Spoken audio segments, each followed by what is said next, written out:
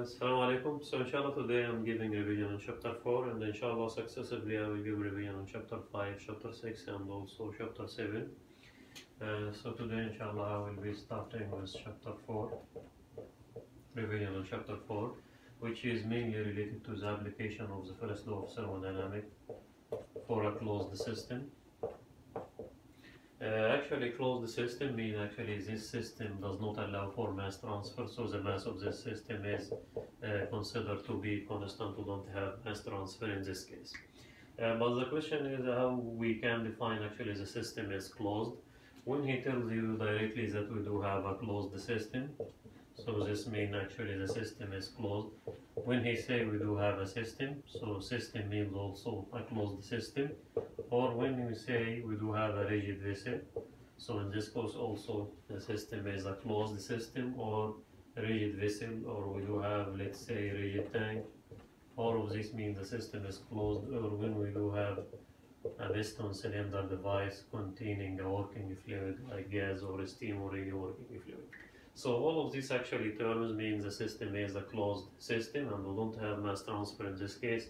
And we can apply the first law of thermodynamics for this closed system. I'm not here actually just to give details about from where from where the equation of the first law of thermodynamics is coming or has been reduced. Just I will give the equation. So Q minus work equal to delta U which is the first law of thermodynamic equation for a closed system. Delta U as the mass is constant, so equal to mass multiplied by specific internal energy U2 minus U1. U2 and U1 are to be calculated in kilojoule per kilogram Kelvin. Mass is the mass of the system in kilogram and heat transfer and the work each of them actually is to be calculated in kilojoules. So this is the form of the first law of thermodynamics for uh, for a closed system. We said how to define a closed system, then we can just apply the first law of thermodynamics for a closed system. Q minus work is equal to delta U.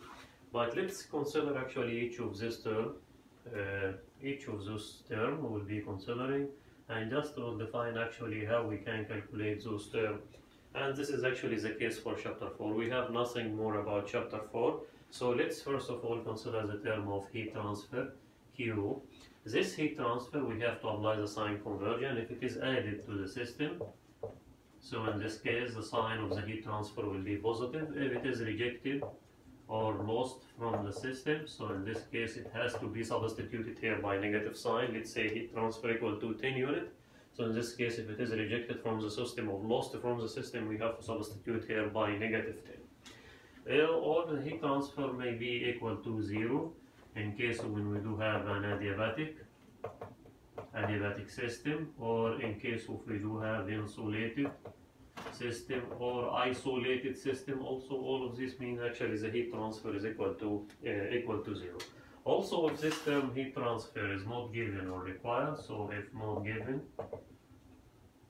or required in this case also we can consider the term heat transfer equal to equal to zero so those are the different cases for the term of heat transfer. If it is added to the system, will be positive sign in this equation. Rejected will be negative sign, and if it is, if we said actually we do have a adiabatic insulated system, isolated system, or if, if it is not given or required, all of this mean actually the heat transfer will be taken as uh, will be taken as zero. Type this is regarding the first term and the first law of thermodynamics. Q minus work equal to delta U, which is the heat transfer. Type the second term is the work. This term is the work. This work may be actually as we can call it as other work, any other kind of work other than the boundary work. So this work may be other kind of work, like if we do have an electrical work, electrical uh, work, which is equal to electrical power multiplied by delta T, electrical power volt by ampere multiplied by delta T. So if you do have electrical heating coil or something, then the electrical power in kilojoule, this is the work, in kilojoule equal to the electrical power in kilowatt multiplied by delta T, which is VI multiplied by delta T. If we do have a paddle wheel or something, so in this case the work will equal to the shaft power of this paddle wheel. So those are actually the other kind of work. In addition to this, we do have the boundary work. Boundary work is the work obtained when we do have one of the boundaries of the system is moving. When we do have, this is actually the case, when we do have a gas or any fluid inside a piston cylinder device, and this piston is moving either upward or downward. So in this case, we do have one of the boundaries is moving, and in this case, we have to calculate the boundary work. Boundary work is equal to integration of PDV of the system. So the boundary work equal to integration of PDV. Like we do have for this, we still we are working with this term on the first law of thermodynamic equation. We are calculating the work. Now let's consider the boundary work. This boundary work actually to be calculated, as you can see, is function of pressure and volume. So we have to get the relation between pressure and the volume so that we can do this integration and calculate the boundary work. So this will be given, should be given for you. We do have some special cases to uh, calculate the boundary work. So the first case, when we do have isobaric process, isobaric process means the pressure is constant. Actually, he may not tell you directly in a problem or something that we do have isobaric process. But if he said we do have a piston cylinder device containing a fluid, and this piston is not connected to a shaft, is free to move, just free to move.